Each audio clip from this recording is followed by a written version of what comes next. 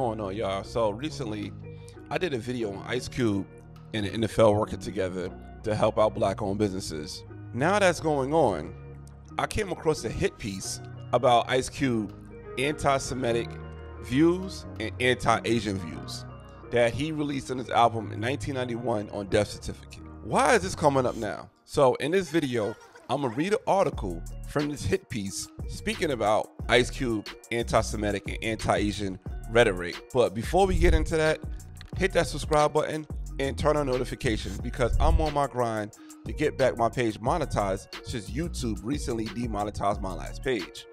Please leave a comment, like, and share this content that help my channel grow. I greatly appreciate it. All right, let's get into this article. All right, so this news article is coming from, what is this? Oh, NextShark. Ice Cube alleged anti-Asian, anti-Semitic past resurfaces after news of NFL partnership. As a prominent artist, Ice Cube is the face of their initiative.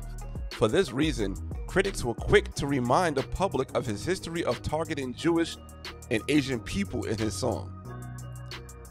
All right, I want to highlight the word Jewish people because he didn't highlight Jewish people in his songs.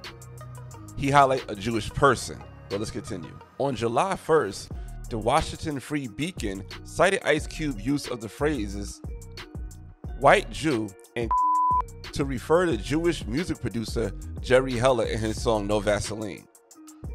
So you telling me this man is talking about one particular person that happened to be Jewish and he calls that person a white Jew and not to mention Jerry Heller was the person that was responsible for taking most of the money from NWA and Ice Cube realized it. Ice Cube being a young black man coming into the music industry, realizing that no, his worth is being taken advantage of by Jerry Heller. The Free Beacon described Ice Cube as an anti-Semitic rapper who in his song called For Violence Against Jews and Asians in No Vaseline, he rapped, get rid of that devil real simple, put a bullet in his temple. He's talking about one man. He's talking about one man. So this black man talking about one man is anti-Semitic. In Black Korea, which is reportedly about racism against the black community by Korean shop owners in Los Angeles, Ice Cube threatened to burn your store right down to a crisp. He also called store owners in the song Oriental one penny counting mother and little Chinese mother. In the preceding song, Horny Little Devil, Ice Cube raps, go down to the corner store and beat the Jap up. All three tracks were part of his studio album Death Certificate. The album was released October 31st, 1991, a few months after Rodney King fell victim to police brutality in Los Angeles. It escalated years long tension between blacks and Korean community members. It's too many holes in this article. Ice Cube most recently stirred controversy in June 2020 when he posted tweets in support of Louis, Fer- Louis Farrakhan, the Nation of Islam leader who has referred to Jews as wicked deceivers of the American people and compared them to termites.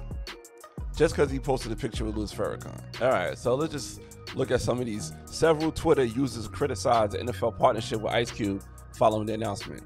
NFL, Ice Cube partner on economic equality plan. The black racist bullshit in pro sports is amazing, one, one user wrote. That's why November will be the most damaging to leftists in history. Overwhelming. Another question Why would NFL hire someone who calls violence against Asians and Jews to help with anything? How often do you hear about these programs for Hispanic or Asian community business compared to black ones? Who complains about racism the most? I'm not knocking for support of black community and businesses. Help all, help all or none. Not one, another tweeted. Today, Ice Cube has not reportedly apologized for his controversial remarks. He also threatened to sue journalists who described him as anti-Semitic, as he should. So let's let's break down some context into the dates and everything about this. Right? So I'm going back, referring back to this article.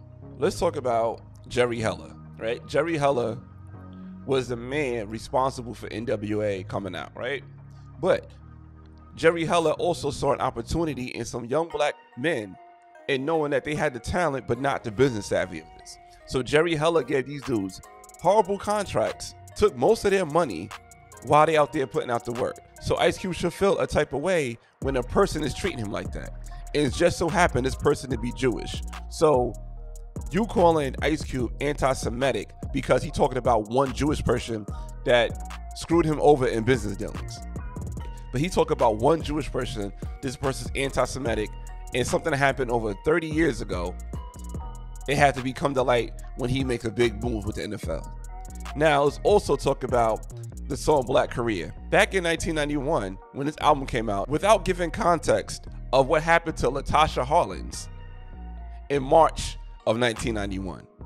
Latasha Harlins was a black teenager that went to a Korean store that was shot by a Korean store owner, and that Korean store owner was found not guilty for her murder. So, how was a young black man, as such as Ice Cube, coming off of a horrible record deal, finally got everything finalized in 1990, also seeing Latasha Harlins getting killed by a Korean store owner. She got acquitted of the murder. What do you expect this man to start talking about? What do you expect him to talk about? But it's okay for rappers to talk about killing black folks all day. But he mentioned that's going something that's going on with Latasha Harlins and what's going on in his business dealings, and you guys want to bring that up 30 years later. telling you, yeah, we got to really start understanding there's a lot of forces against us, and a lot of times we see these forces as allies, not enemies. How in the world is this coming up now that he struck a deal with the NFL to work with black owned businesses? Let me know how y'all feel about this in the comments, man. I think it's very ironic that this timing of Ice Cube coming out of the NFL dealing, and now y'all want to bring this up and trying to uh, use anti-Semitic and anti-Asian, because you know right now those are strong words. Those are strong words, and you're trying to block this deal that Ice Cube got with the NFL. But let me know how y'all feel about this in the comments, man. I'll meet y'all down there. I appreciate your time. All right, peace. Real Rap Ron is signing off. All right, later. One.